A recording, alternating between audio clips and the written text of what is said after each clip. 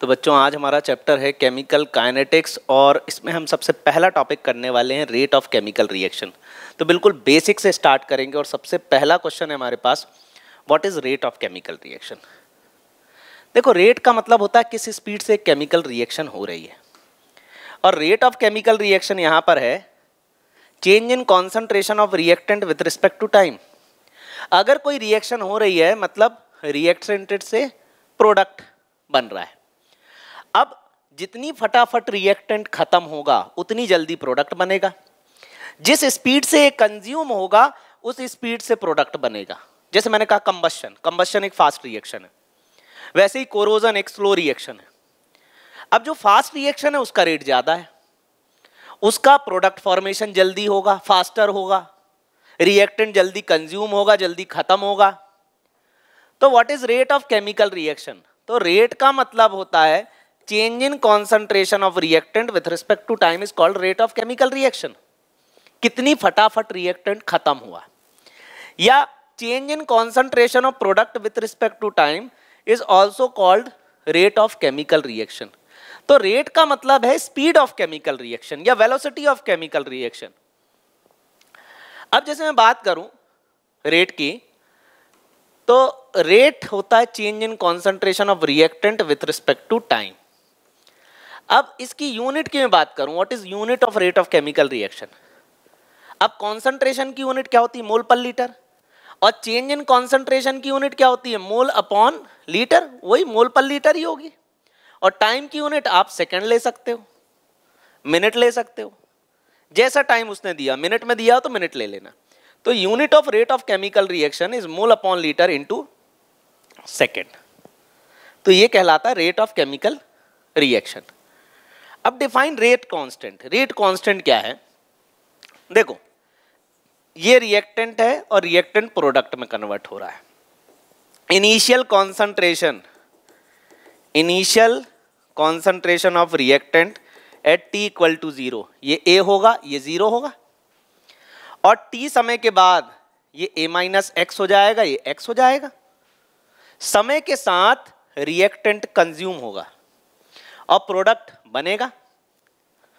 तो rate is directly proportional to concentration of reactant rate of chemical reaction is directly proportional to concentration of reactant अरे reactant की अगर concentration ज़्यादा होगी ज़्यादा रिएक्टेंट होंगे तो आपस में आसानी से टकराएँगे। आसानी से टकराएँगे तो प्रोडक्ट जल्दी बनाएँगे प्रोडक्ट जल्दी बनाएँगे फास्टर बनाएँगे तो रेट भी ज़्यादा होगी।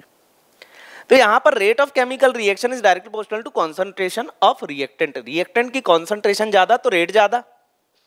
तो rate is equal to k into r और यहाँ पर के कहलाता है rate constant of chemical reaction अब ये जो रेट कांस्टेंट है, इसकी यूनिट अब देखो, इसके बाद हम पढ़ेंगे ऑर्डर ऑफ़ रिएक्शन अब ऑर्डर ऑफ़ रिएक्शन में आपको बताऊँगा कि ऑर्डर ऑफ़ रिएक्शन क्या होती है.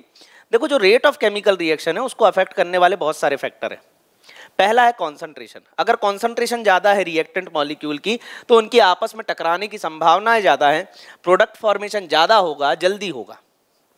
दूसरा है ऑर्डर ऑफ़ रिएक्शन तीसरा है molecularity activation energy and temperature तो अगर हम बात कर रहे हैं रेट कांस्टेंट की तो रेट ऑफ़ केमिकल रिएक्शन को प्रभावित करने वाले जो कारक हैं, कि एक रिएक्शन कैसे फास्टर हो, उसमें order of reaction molecularity concentration temperature activation energy ये सारी चीज़ें पार्ट करेंगी। ये सारी चीज़ें पार्ट लेंगी और इन सबका एक इफ़ेक्ट रहेगा।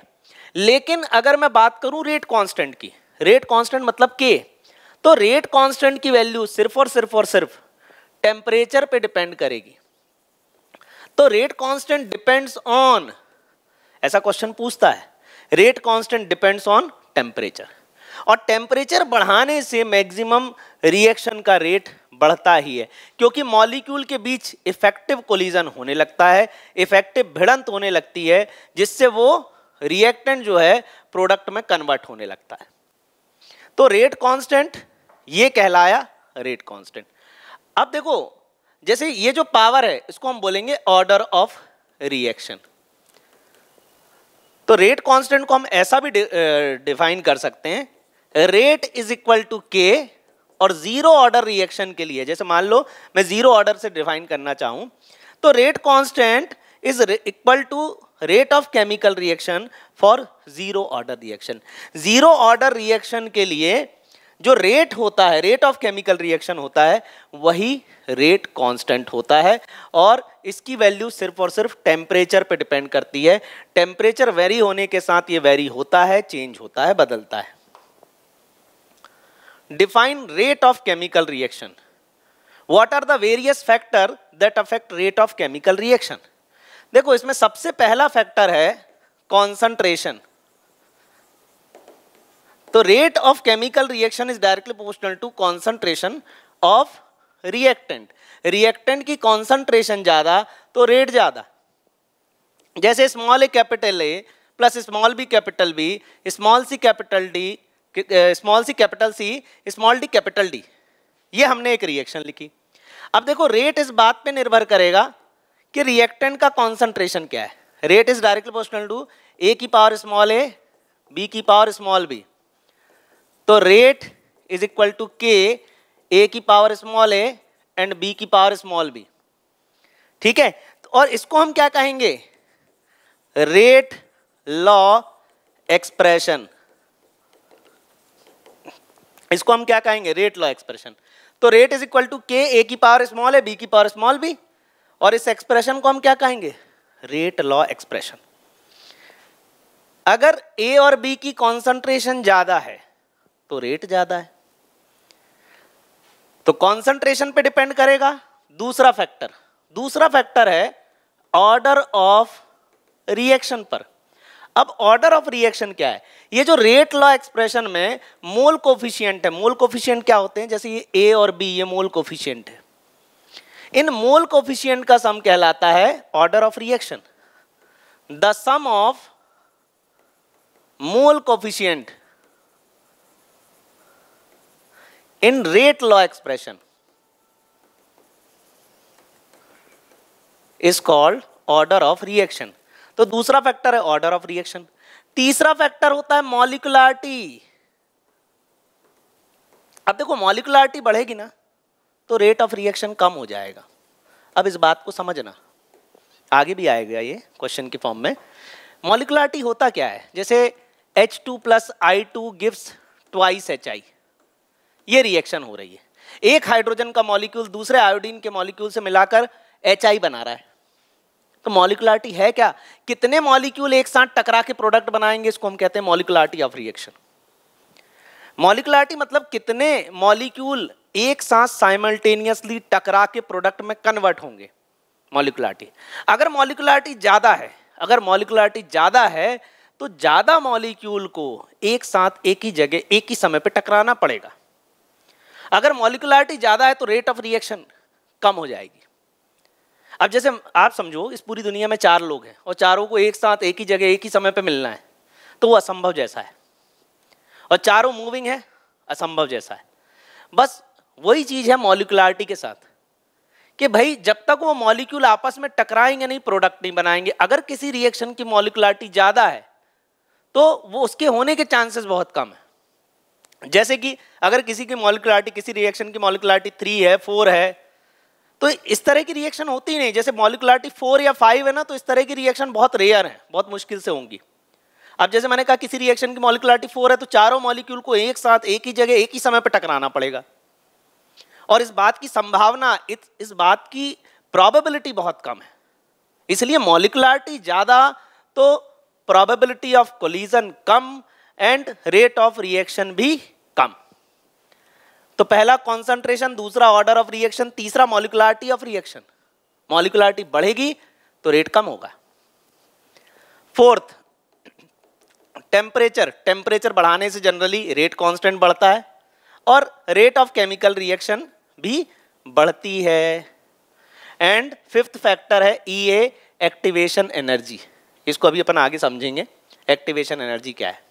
एक्टिवेशन एनर्जी अभी इतना समझ लो, ये वो एनर्जी है जो रिएक्टेंट को प्रोडक्ट में कन्वर्ट करने के लिए चाहिए ही चाहिए।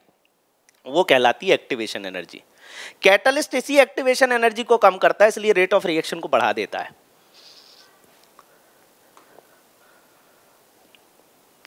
Define the term order of reaction for a chemical reaction order of reaction मैंने बताया, ये आप लिखो chemical reaction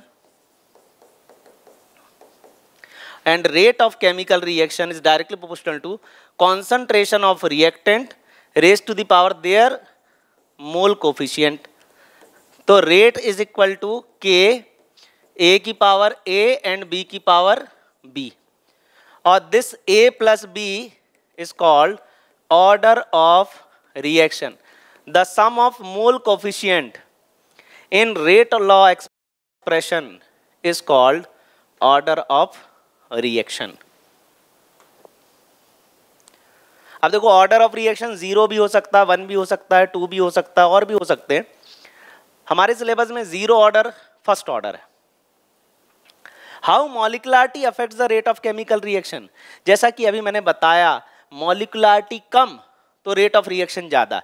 अब जैसे कैल्शियम कार्बोनेट को हीट करके सी ए में ब्रेक करना है, इसकी मॉलिकुलरिटी इसकी मॉलिकुलरिटी हो जाएगी one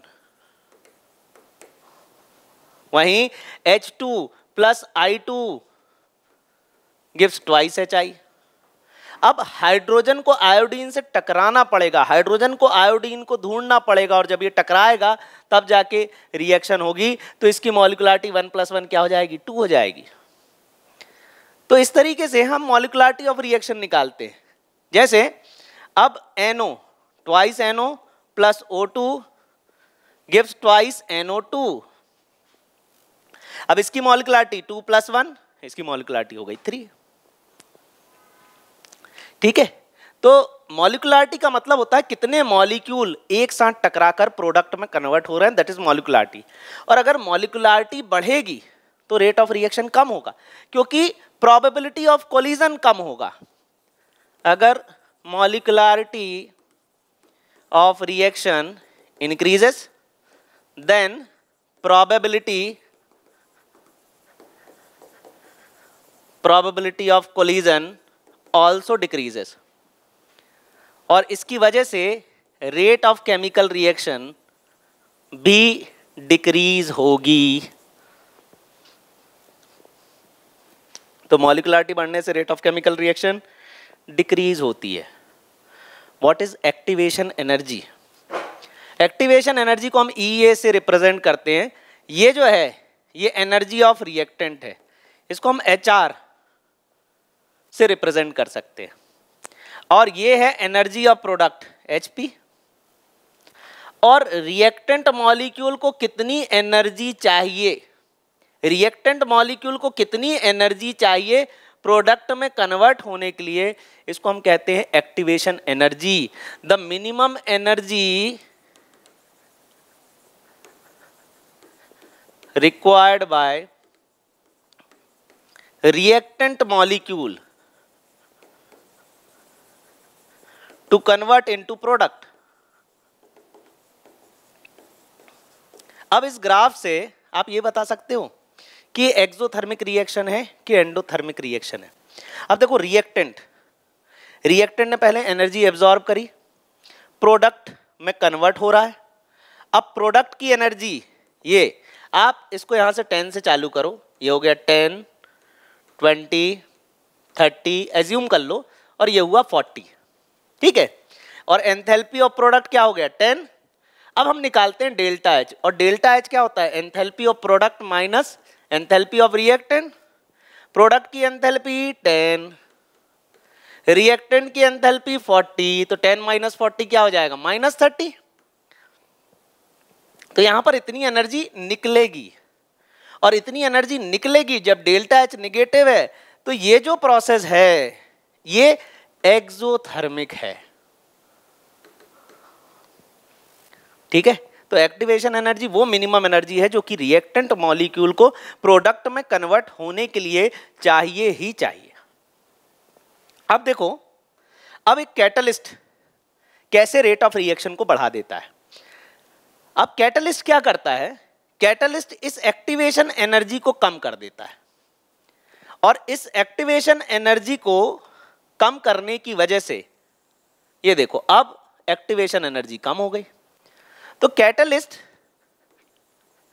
decreases activation energy, hence increases rate of chemical reaction अब देखो, ज़्यादा से ज़्यादा रिएक्टेंट मॉलिक्यूल प्रोडक्ट में कन्वर्ट होने लगेंगे। क्यों? क्योंकि भाई उनको एक मिनिमम एनर्जी अटेन करना है।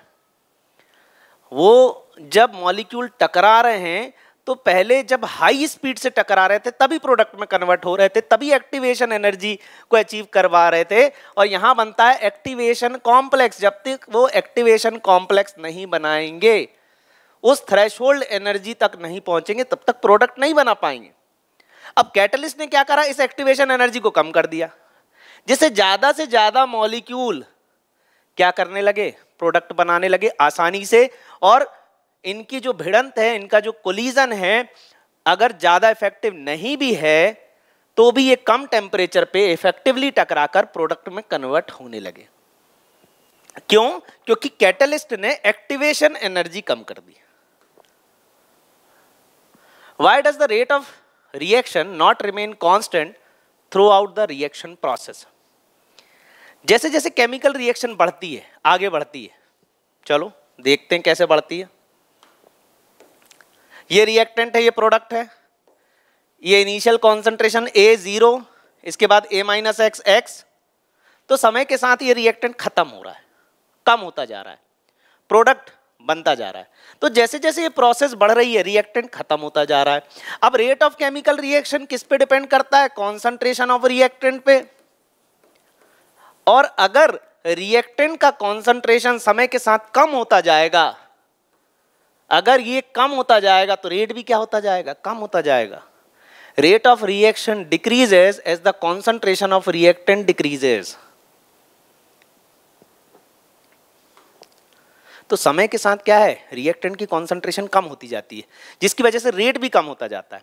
अब जैसे मान लो दो रिएक्टेंट को टकराकर प्रोडक्ट बनाना है तो मैक्सिमम रिएक्टेंट टकराकर प्रोडक्ट में कन्वर्ट हो चुके। अब रिएक्टेंट उतने हैं नहीं, उनकी कॉन्सेंट्रेशन ज़्यादा नहीं है मॉलिक्यूल ज़्यादा नहीं है। मतलब उनमें अब उतनी इफेक्टिवली उतना फास्ट कोलिजन होगा नहीं और प्रोडक्ट फॉर्मेशन भी नहीं होगा। What is rate law equation तो रेट लॉ इक्वेशन क्या है? ये मैंने आपको पहले ही बता दिया था। बस ऐसे ही लिख दो। रेट इज़ इक्वल टू के ए की power small a and B की पावर स्मॉल बी। ये रेट लॉ इक्वेशन है। नहीं, ये रेट लॉ एक्सप्रेशन है। हमें रेट लॉ इक्वेशन की बात करनी है। इसको हम कहेंगे rate law expression rate law equation क्या होती है? इसको मैं एक एग्ज़ाम्पल से देखता हूँ।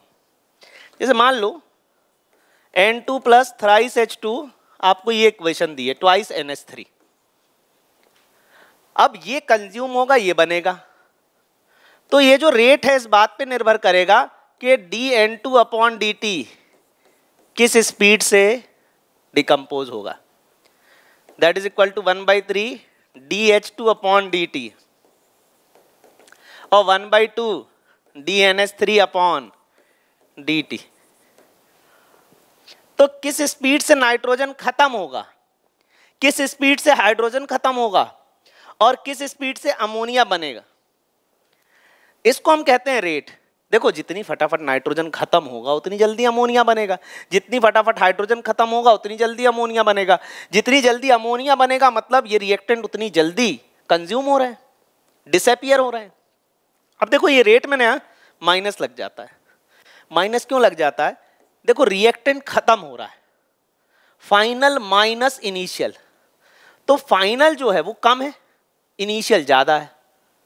अब फाइनल माइनस इनिशियल करोगे। मान लो फाइनल क्या है? टेन ये फोर्टी था फोर्टी से टेन हो गया।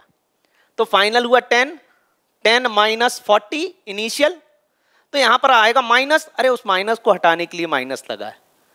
मतलब वो चाह रहा है कि आप रेट प्लस में ही लो। ठीक है? तो इस माइनस से कभी कंफ्यूज नहीं होना। भाई प्लस में दिया है तो प्लस में मान लो। देखो, अगर उसने बोल दिया ऐसा rate of disappearance of nitrogen तो माइनस लगाने की ज़रूरत नहीं। उसने बोल दिया है रेट ऑफ़ डिसअपियरेंस मतलब नाइट्रोजन खत्म हो रहा है। तो इसको हम कहेंगे rate of disappearance of nitrogen ये क्या हो जाएगा? Rate of disappearance of hydrogen और देखो अमोनिया बन रहा है, इसकी कॉन्सेंट्रेशन बढ़ रही है तो फाइनल कॉन्सेंट्रेशन ज़्यादा है तो यहाँ माइनस नहीं लगाया। This is rate of formation of ammonia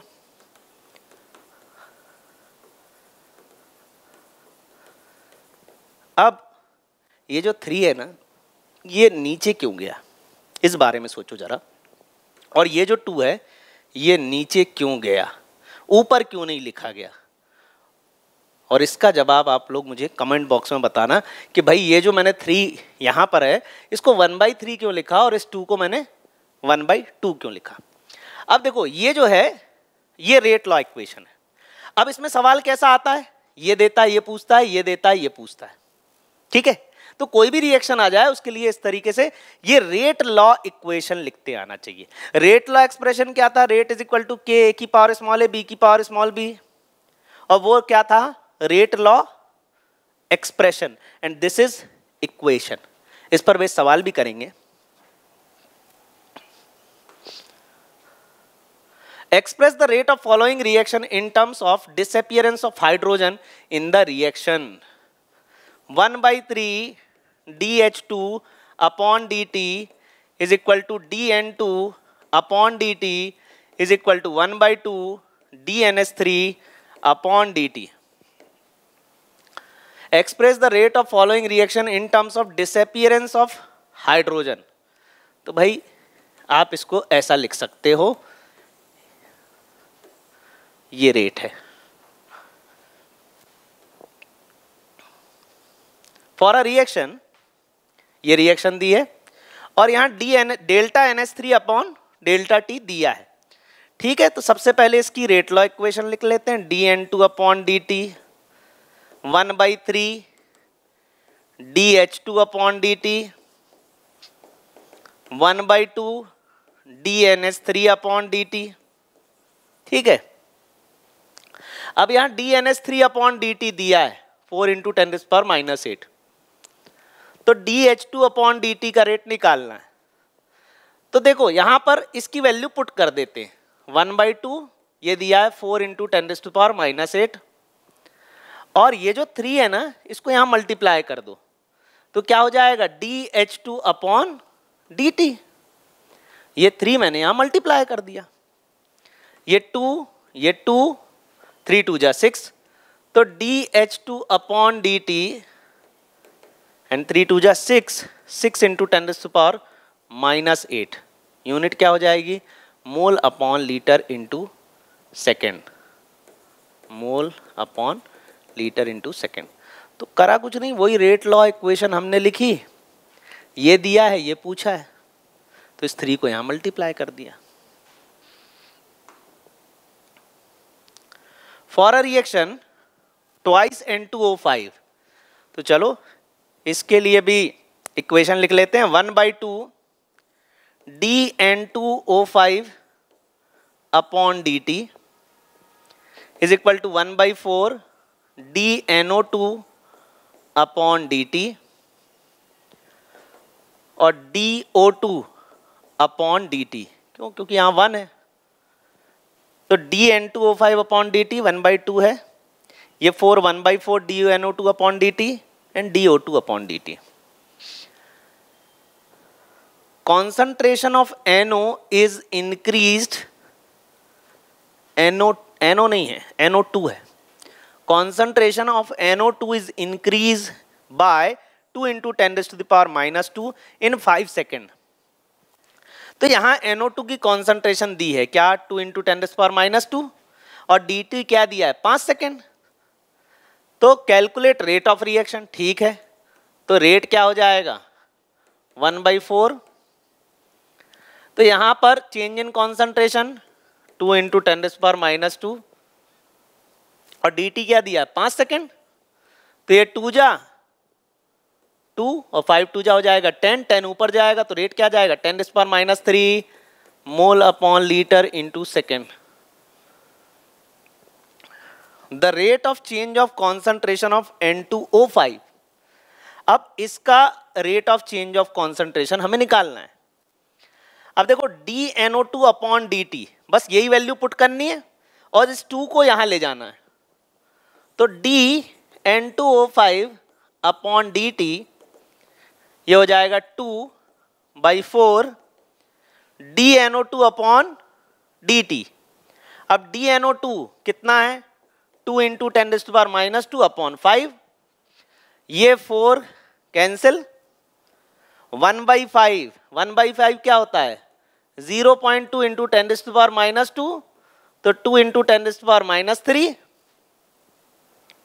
तो यहाँ पर एन टू ओ फाइव का जो चेंज इन कॉन्सेंट्रेशन है, वो जाएगा mole upon litre into second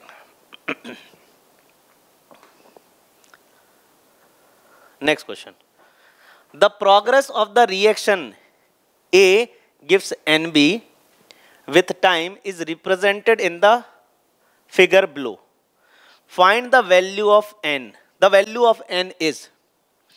देखो यहाँ पर एक ग्राफ दिया गया है ए की कॉन्सेंट्रेशन यहाँ कम हो रही है और बी की बढ़ रही है ठीक है तो वक्त के साथ ए कम हो रहा है ए रिएक्टेंट है कम होगा ही बी बढ़ेगा बी प्रोडक्ट है अब इसके लिए मैं सबसे पहले एक काम करता हूँ रेट लॉ इक्वेशन लिखता हूँ।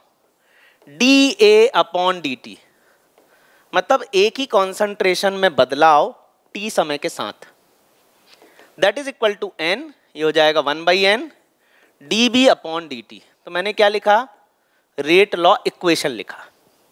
अब डी ए ए की कॉन्सेंट्रेशन में कितना बदलाव आया? ये पॉइंट फाइव है तो ये ऊपर क्या रहा होगा? ज़ीरो पॉइंट सिक्स तो 0.6 से क्या हो गया? 0.3 ये देखो।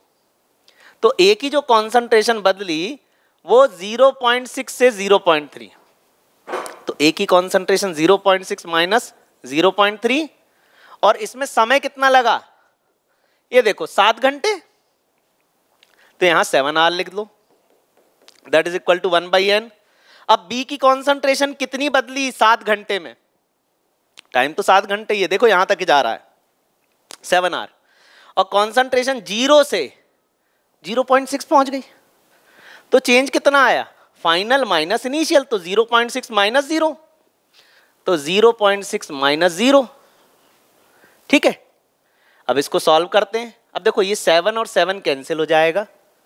और यहाँ क्या आ जाएगा? Zero point six minus zero point three क्या हो गया? Zero point three that is equal to one by N into zero point six और ये क्या हो जाएगा? ये एन को मैं इधर ले जाता हूँ। ये एन यहाँ मल्टीप्लाई हो जाएगा और पॉइंट थ्री नीचे आ जाएगा। तो एन हो जाएगा zero point six upon zero point three तो इसको डिवाइड करेंगे तो एन की वैल्यू हो जाएगी टू तो इसमें बी ऑप्शन करेक्ट है।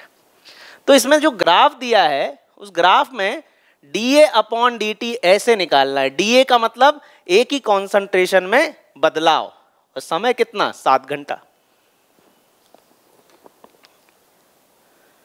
डिफाइन स्पेसिफिक रिएक्शन रेट और रेट कांस्टेंट देखो, ये जो डेफिनेशन है आपको याद रखनी है बोर्ड एग्ज़ाम में पूछी गई है।